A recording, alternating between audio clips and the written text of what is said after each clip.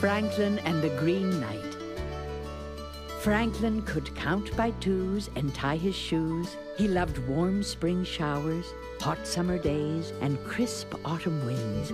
He also loved the winter because winter meant snow, and playing in the snow made him very happy. One January, when the snow lay deeper and thicker than anyone in Woodland could remember, Franklin was especially happy. Something was about to happen that would change his life forever.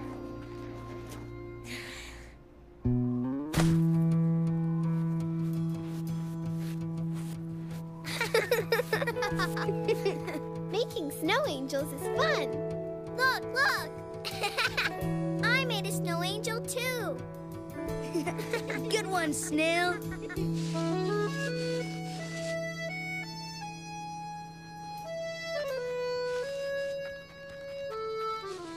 Música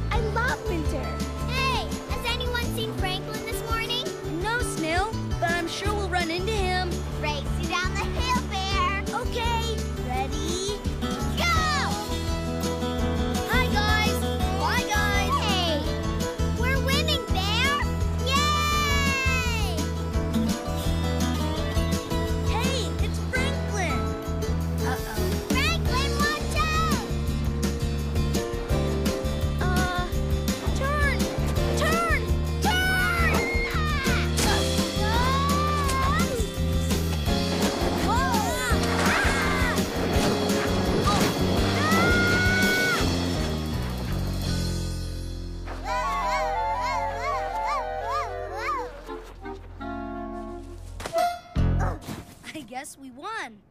Uh, snail? Are you okay?